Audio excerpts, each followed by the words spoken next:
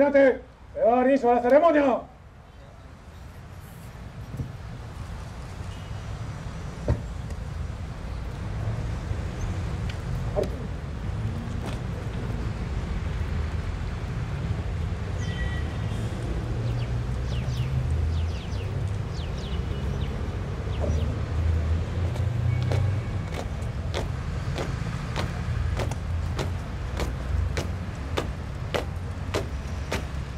Señoras y señores, hoy 16 de enero del 2017, año del buen servicio al ciudadano, nos encontramos reunidos en el Parque Reducto número 2 del distrito de Miraflores, con motivo del 136 aniversario de la batalla de Miraflores, batalla que ocurrió un 15 de enero de 1881 entre las fuerzas del ejército de Chile y el ejército del Perú durante la Guerra del Pacífico.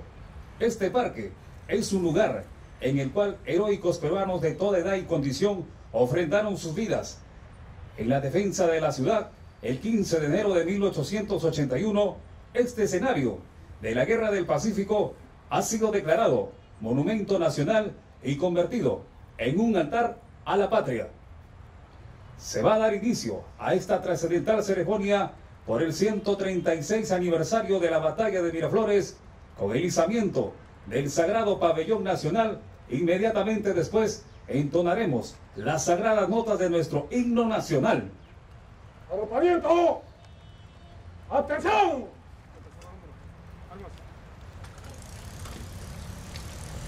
¡Presente! ¡Armas!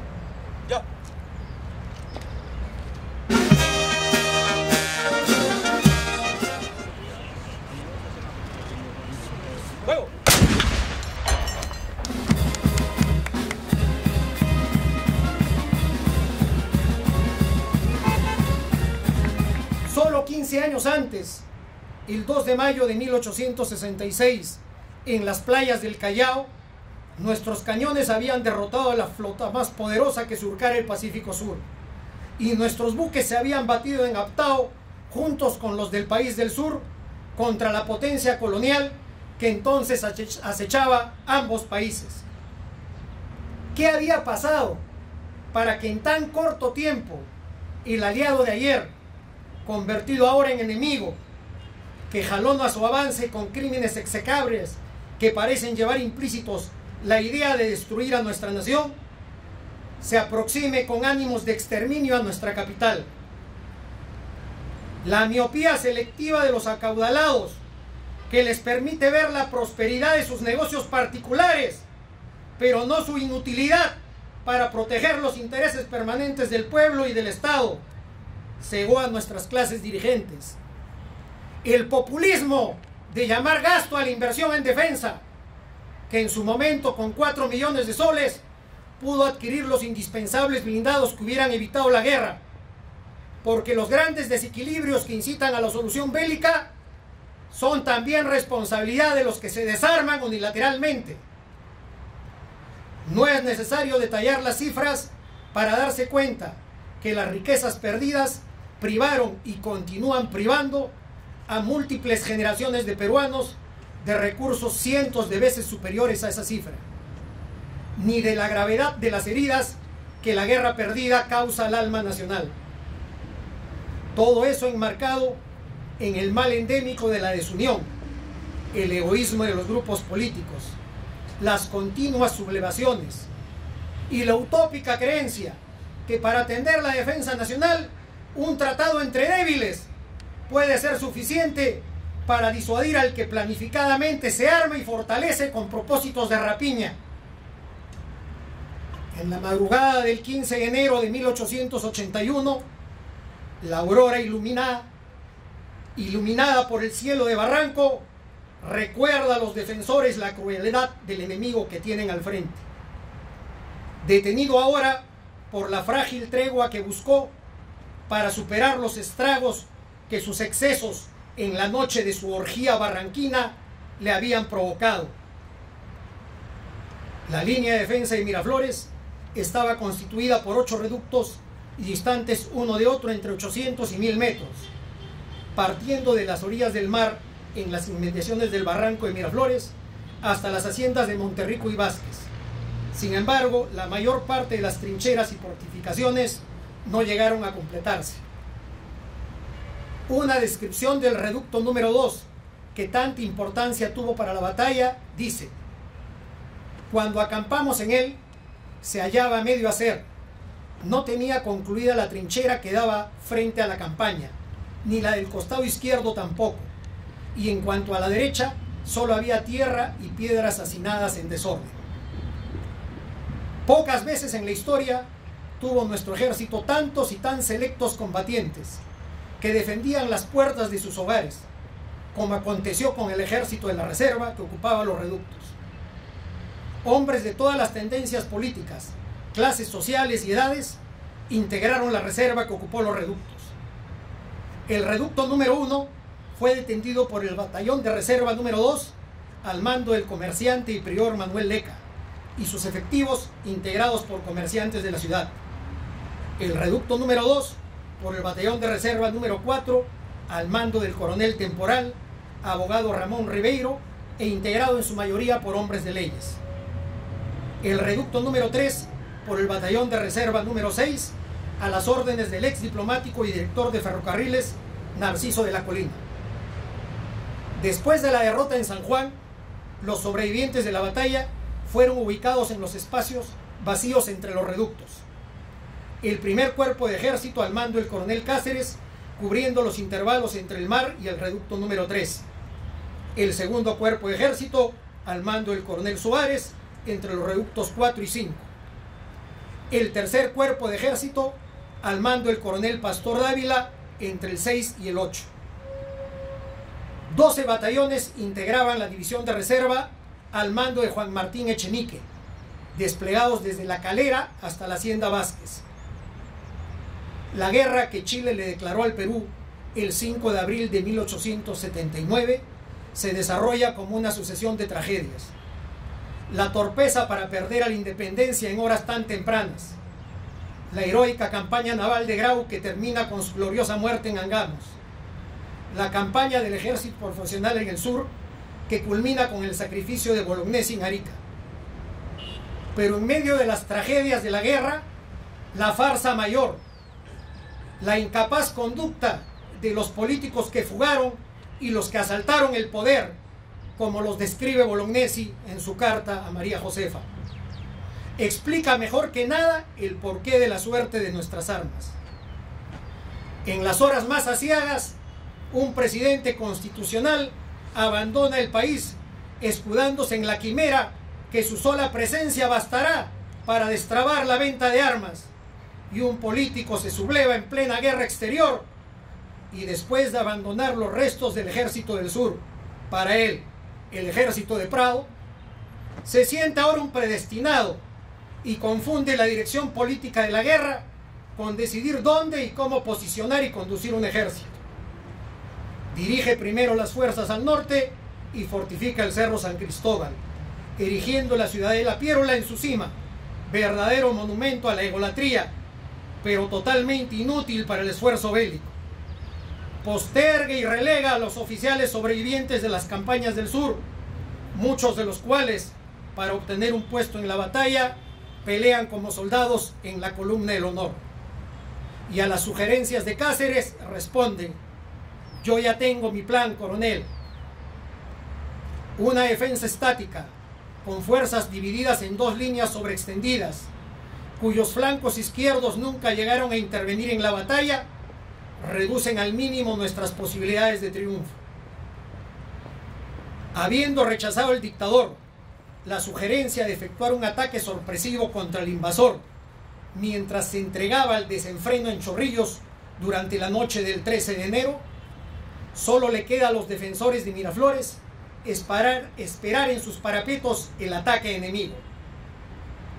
Al día siguiente, Baquedano, comandante en jefe del ejército chileno, envía al general Iglesias, que había sido capturado en el Morro Solar, con una propuesta de armisticio, la misma que es aceptada con el auspicio del cuerpo diplomático.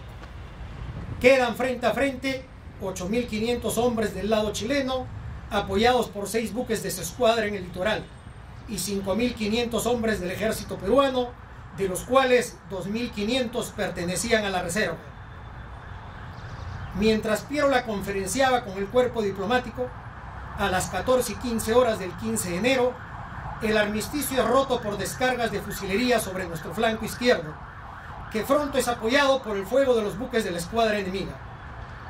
El ataque es detenido por los reductos 1 y 2 y por el primer cuerpo de ejército de Cáceres, que por dos veces se lanzan al contraataque fuera de sus posiciones contra la división de Lagos.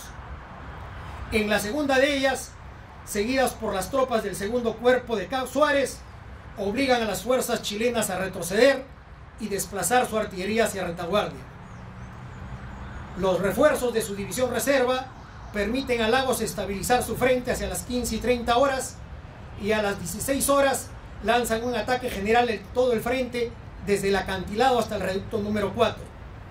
A esa hora comienzan a escasear las municiones en el ejército de línea, que recibe cartuchos de diferentes calibres a los fusiles que empuñaban, y comienza a retroceder y dispersarse. Después de las 17 horas, la defensa quedó a cargo de los batallones que ocupaban los reductos. Las tropas atacantes atravesaron la posición por los intervalos entre los reductos y los tomaron atacándolos por sus flancos y retaguardia. Poco después de las 18 horas, todos los reductos fueron ocupados por el enemigo. En la batalla solo participaron los cuatro reductos del flanco derecho, mientras que los 11 batallones de la división reserva no intervinieron en el combate, recibiendo órdenes del dictador de devolver las armas y disolverse. El parte del ejército invasor reconoce 2.124 bajas y las pérdidas totales del Perú se calculan en 3.000 hombres. No hubo familia en Lima que no llorara un muerto en la batalla de Miraflores.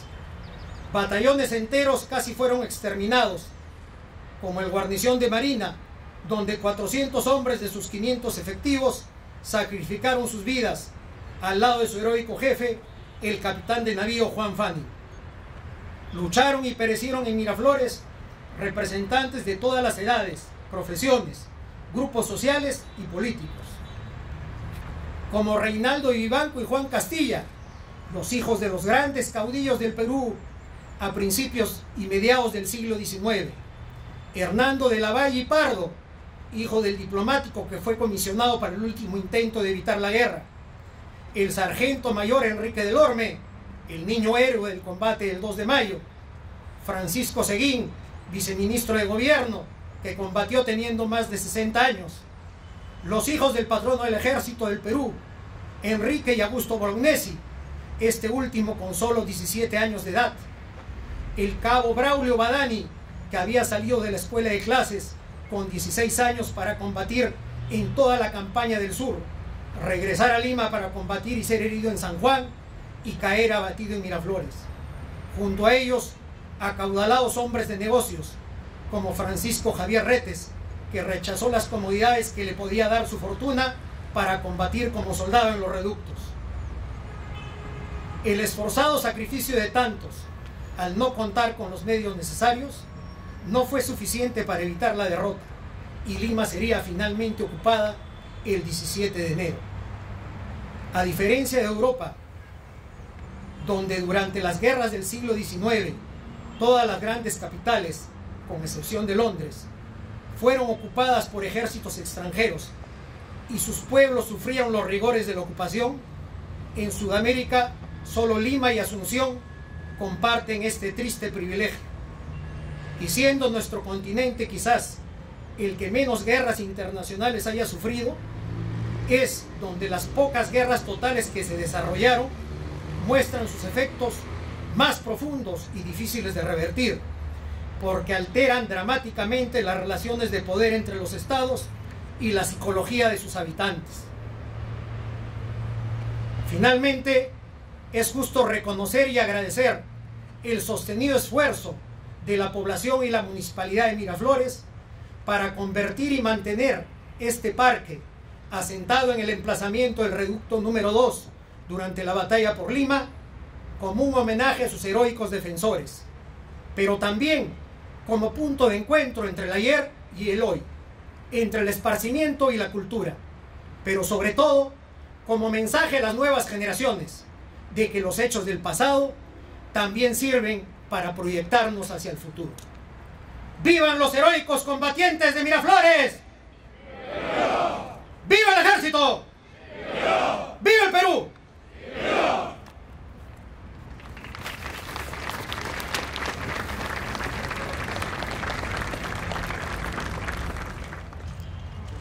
Estamos reunidos hoy para conmemorar el centésimo trigésimo sexto aniversario de la batalla de Miraflores.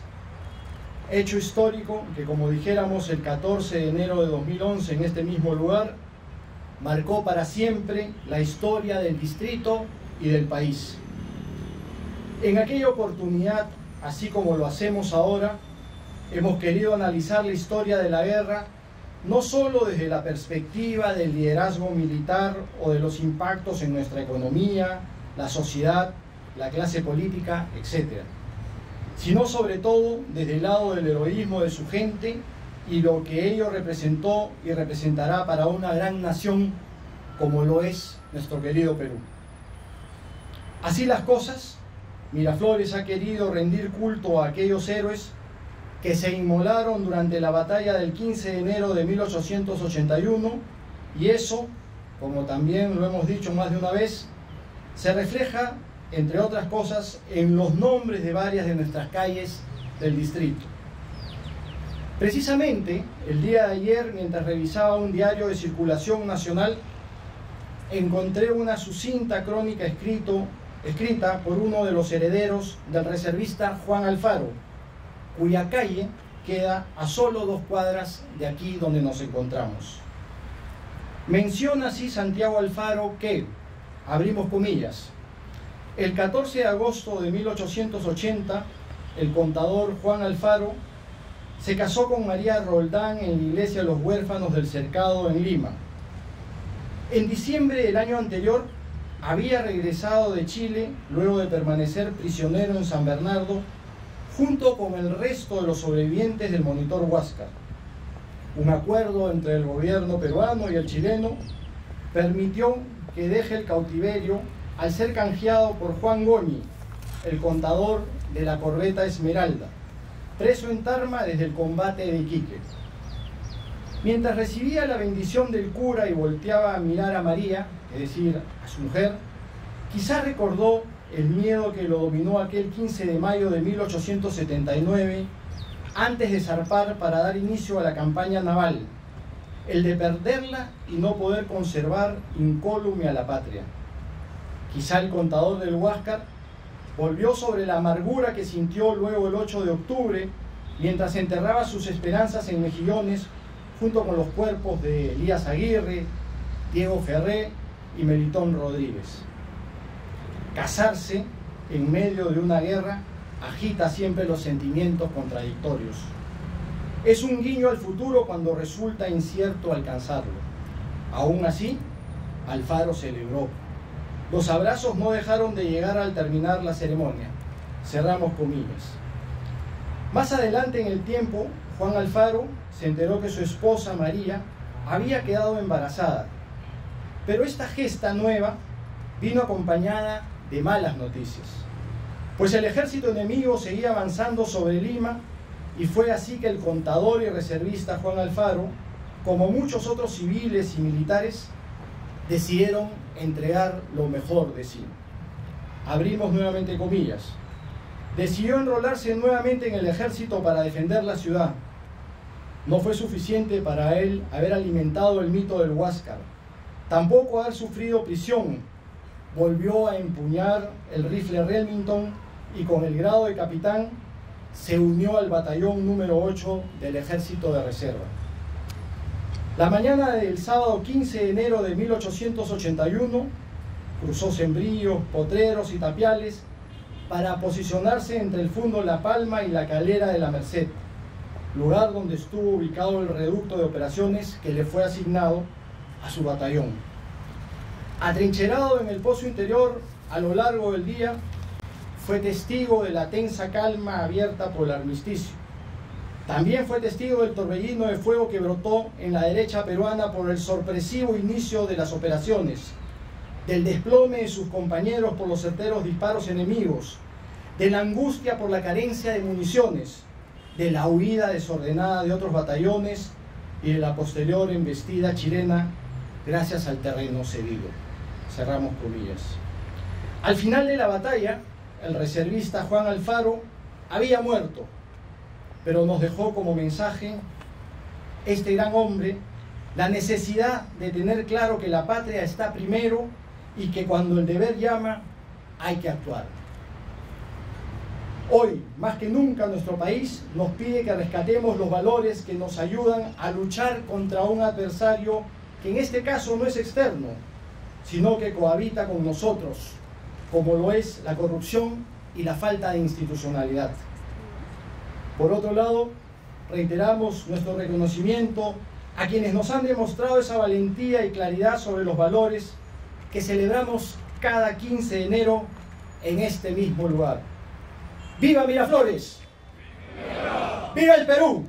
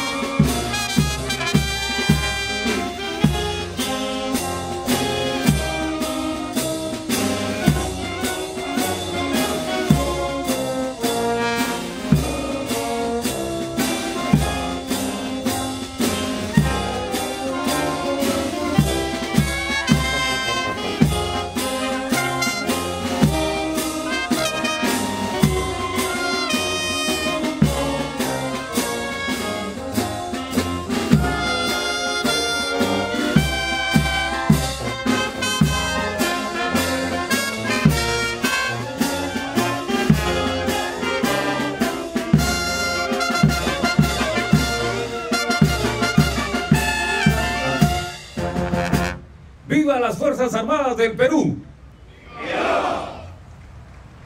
Señoras y señores, la ceremonia por el 136 aniversario de la batalla de Miraflores ha finalizado. Agradecemos su gentil asistencia y participación.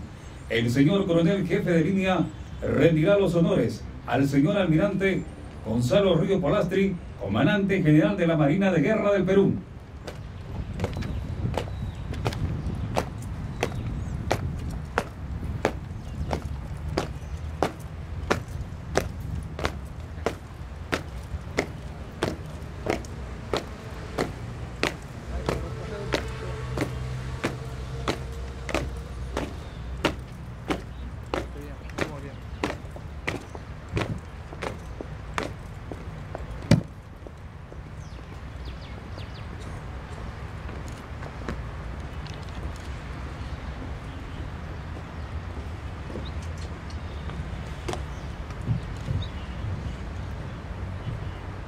Permiso, señor almirante. La ceremonia ha terminado.